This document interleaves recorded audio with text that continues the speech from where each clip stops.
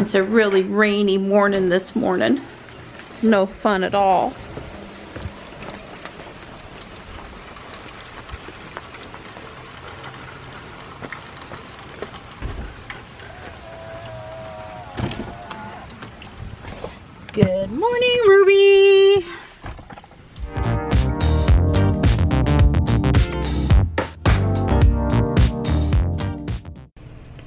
Johnny and I went to drink um, some Califia, or as my friend told me this weekend, Califia uh, coffee drink this morning, and it was spoiled. I don't know how that almond milk could spoil. It's quite perplexing. I think the expiration date was February, so at any point, if we want some caffeine this morning, it's a Starbucks kind of a day. I don't know how we're managing to do it, Johnny, but it looks like we're gonna get to school on time. I agree. Yeah, navigation's saying 723. And uh, we're making reasonable progress, but it's nasty out there this morning. It's 53 degrees, but it's pretty rainy. Is it Friday yet? All right, buddy, have a good day. I'll probably be the one picking you up. Okay. Love you. Love you too. Love you. Love you, buddy. Have a good day. You too. Bye. Bye.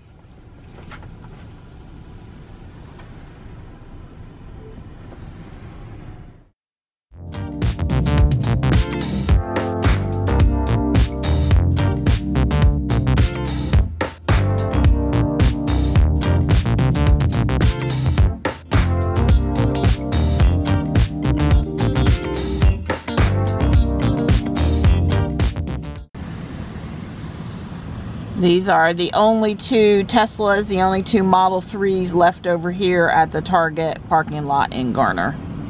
All the rest that went all the way up the line over here, they're, they've been moved, sold, they're gone.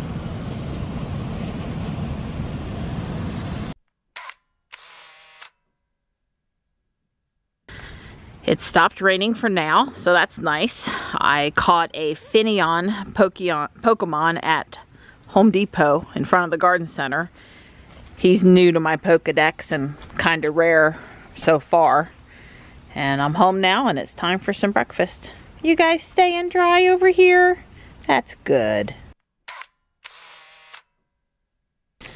I wish I could tell you that I got a ton of stuff done at the house today, but alas, I cannot say that. It's still raining out there. I don't think it's stopped at all. And um, Don and I were snuggled up on the love seat. We had Bjorn's, um, one of his road trip videos on up on the TV. We were watching it, and the next thing I know, we were both sound asleep. That's not a reflection on Bjorn. That's just the kind of day it is today. Um, so I'm going to pick up Johnny now. I had pinged Michelle to see if she wanted to go shopping because robotics doesn't start back up until next Thursday. Um, there are no clubs meeting at the school today, but Michelle and I agreed that it was just too messy out there and we want to give Guardian Angel a chance to put out new merchandise um, after the inventory and we'll go next week. So probably Tuesday of next week we'll, we'll go. But I'm on my way to pick up Johnny and we do have to go pick up the farm order today at Whole Foods, rain or not. I wish I could just send Johnny in for the farm order and drop him off and pick him up at the door, but I kind of need some other stuff in there today. It'd be really hard to go until Tuesday without it. I'll see. I'll see how hard it's raining and I'll make a last minute call over at Whole Foods which way it's going to go. Johnny said he has not been up front with me using Navigate on autopilot. That's because we're never out on the interstate. You might remember Michelle's been with me like when we've been going to restaurants in Cary and had to get on US 1 or 440 for a little bit. So I said, okay, even though it's just a few mile hop down to Whole Foods. So we're coming up on that really weird 440, I-40, US 164 exit where people on the right have to get left and people on the left have to get right and it'll be interesting to see what she does here. I don't believe I've received any instructions yet about what I'm supposed to do. Uh, she put on the turn to go the uh, to stay left here. Why would she do that? Well, mostly she did that though on her own. I knew we didn't want to go there, but I thought I would have considered this the lane we were in But she handled that okay. I haven't, I'm not doing anything. She's lowered the speed down. But let's see what she's gonna do up here because I have to get right at this split. Confirm lane change to follow route. I'm confirming the lane change even though I forgot and hit the signal all the way over. There was no one there this time. She's slowing down. Oh, I must have jerked it a little bit too hard. She was trying really hard to slow down to make that curve, but you know, we're in a clover leaf loop here and she uh, and I, we just didn't quite jive there. We'll get back in nav on autopilot in a minute. So we're through the clover leaf. I put her back on autopilot. Um, we're merging onto US 1 here and we're on here until our exit. She's putting the turn signal on herself there to make sure we stayed in that lane. Yeah, her etiquette for, well, you can go, Ruby, if you're going, go. So that's twice she put on the turn signal, but actually stayed in the lane and or didn't move over. Mean, there was nobody there. I was watching in the rearview mirror. She never put up a red line to indicate that she couldn't go. And she wants me to take Cary Parkway and go in the back way again. Which is really not my preferred method for getting into Whole Foods, so I'm probably going to cancel out of that. She did that the other day. I don't like going over the speed bumps at the back of the Whole Foods parking lot. Alright, Ruby. So I'm bumping up the speed to 65 before I get run over. She really, that the way a human driver would, she needs to bump it up to 65 about a half a mile before it turns to 65. So she stays in traffic with the other drivers.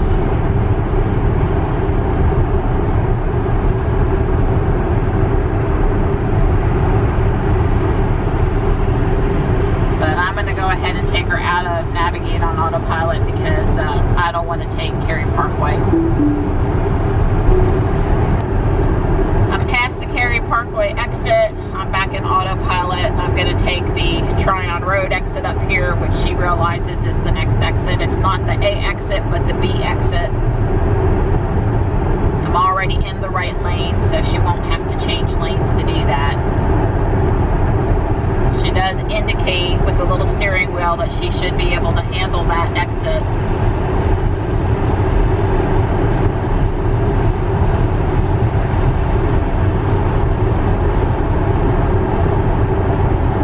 I think Don and I tried this exit the other day.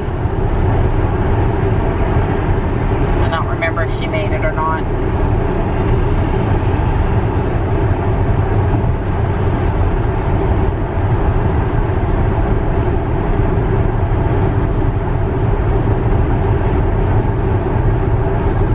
So this is an exit only lane and it'd be curious to see here if she does any signaling or how she slows down. I'm currently doing 68 to 65. She's slowing on her own to take the exit. Maybe just a little more than I would have slowed. I mean, come on, Ruby girl, let's have some fun. She says navigate on autopilot is ending at 500 feet. Now I'm just in traffic aware cruise control, but she's I still haven't touched the brakes. She is still handling the exit ramp. I haven't done anything here but steer. And she handled it just nicely, slowing down properly for it. Hopefully she'll speed back up here. Not as fast as I want her to speed back up coming off and trying to merge, but Okay, so she says I'm doing the max of 40, but it's a 45 zone. I used the stop to bump it up to 47. And uh, I think she did okay there. So, are there more kids at school today? Yes, by like three times. Okay, so most of the kids were at school. That's good. And uh, you got any homework? Yes. What do you have? Math homework. But it's not due till Monday, right? Right. Yeah, because you don't have math tomorrow on your every other day schedule. All right. Well, um, sorry about the homework, but at least it's not due tomorrow. We're uh, at Whole Foods now. We're going to go in and get our groceries, and it's not raining. Yay! Please don't be raining when we come out with the groceries either. I knew the holiday was over, and there's no eggnog left. Johnny was very pleased with the hot bar selections today. Somebody parked next to Ruby. I loaded everything up in the front again. I don't see any Teslas in the parking lot today. None, zero, nada. Well, except for but just Ruby. like last time we were here, Donnie, everybody's in the left-hand lane to make the left turn, but this lane is also a turn lane, so I went straight to the front. Yay!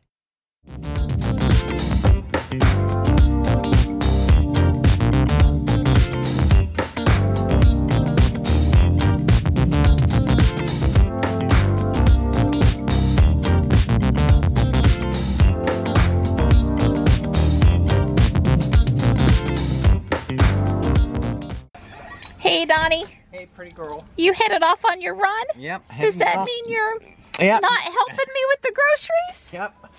I had trouble with my ear. I had to go back to the other others. I couldn't get those white ones to pair. Huh. Those white Bluetooth ones of yours, I couldn't get it to work. I wasted a lot of time. All I'm right. sorry. It got late on me. I love you. Bye. Bye. Guess we got extra, Johnny. Is mom wearing you out? Yes. But I helped with homework. Yes, he did. Yeah, Johnny's learning about the Pythagorean theorem and the distance formula. He started ninth grade math now, essentially. And uh, so we cranked that on out because I remember all that stuff. And uh, he helped me up and down the attic stairs quite a few times with boxes. So thanks, bud. Appreciate the help.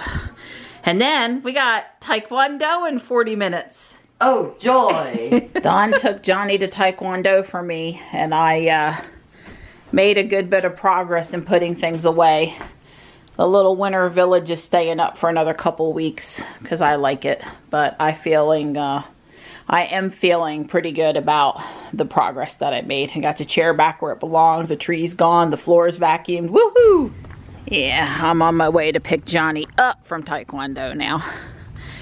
And we're supposed to get another inch of rain tomorrow. Yay! Not. Yes, Ruby, put the seat back where it belongs. 111 miles today. So Donnie, were you in any way surprised that with the uh, federal tax rebate being cut in half to 37.50 that Tesla reduced the price on their uh, new cars? No. Right. I wasn't surprised either, by the way. Yeah, I'm surprised. Um, look, Tesla has been building the Model S for what, six years? The Model X for four years. Um, by now, you should have squeezed some cost out of that, either that or their line.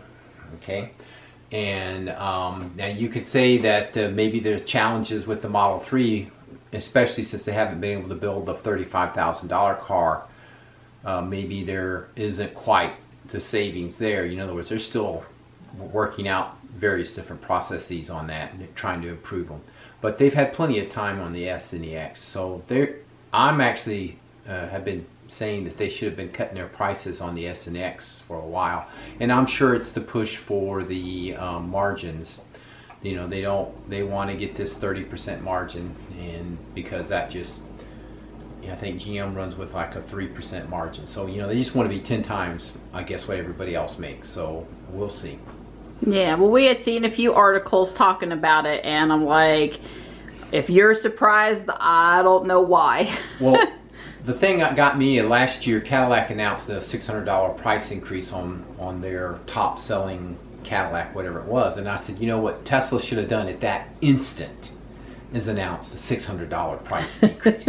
I per every time somebody in the auto industry announces a price increase on their models. Tesla should just simply announce a price decrease on their models. And then uh, that would basically either uh, send a lot more business Tesla's way, positive press, or uh, maybe the people who were wondering, well, why is so all these people supposedly are great at building cars, why do their prices always go up? And yet this one that everybody says, oh, these people can't buy cars, their prices seem to go get better. So, uh, you know, let the customers decide which way that works. So, uh, hopefully they'll, you know, I hope they continue to cut the prices. I, I think, um, you know, the only reason that we all aren't driving electric cars, obviously besides we can't probably can't build enough batteries right now, is they are still price premium. And gas at $2.60 a gallon, uh, you know, that doesn't help.